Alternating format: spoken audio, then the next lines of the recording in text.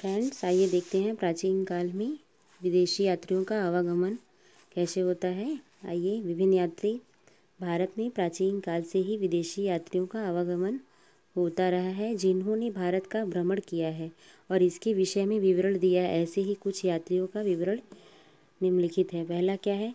मेघ स्थनीश यह राजदूत के रूप में चंद्रगुप्त मौर्य के दरबार में आया हुआ इंडिका नामक पुस्तक की रचना की थी।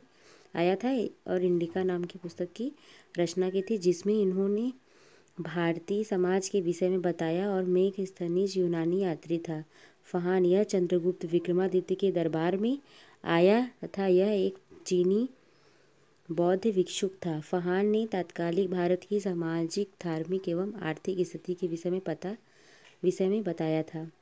हेन शोंग यह हर्षवर्धन के समय आया और इन्होंने इसने नालंदा विश्वविद्यालय में बौद्ध धर्म से संबंधित अध्ययन किया। यह चीनी मूल का बौद्ध भिक्षुक था। इसकी पुस्तक का नाम शियुकी है। इसको तीर्थयात्रियों का राजकुमार कहा जाता है हेनशांग को।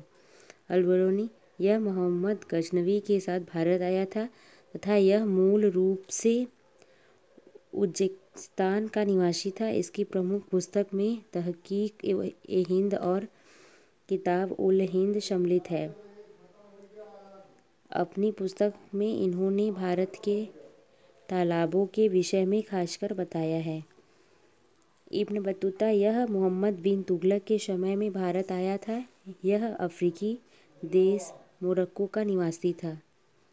इसे काजी के पद पर नियुक्त किया गया था। इन्होंने अपने अनुभवों का अपनी पुस्तक रेहेला के द्वारा बताया है। वास्को डी गामा, यह एक पुर्तगाली नाविक था, जिसने वर्ष उन्नीस सौ चौदह सौ अंठानवे भारत की धरती पर नए समुद्री मार्ग के द्वारा कदम रखा।